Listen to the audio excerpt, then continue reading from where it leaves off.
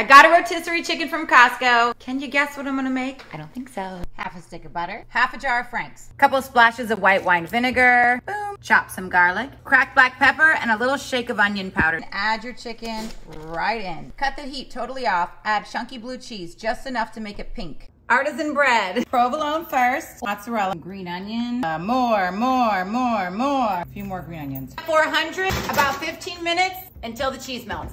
Boom. Gorgeous. Mmm. Make it.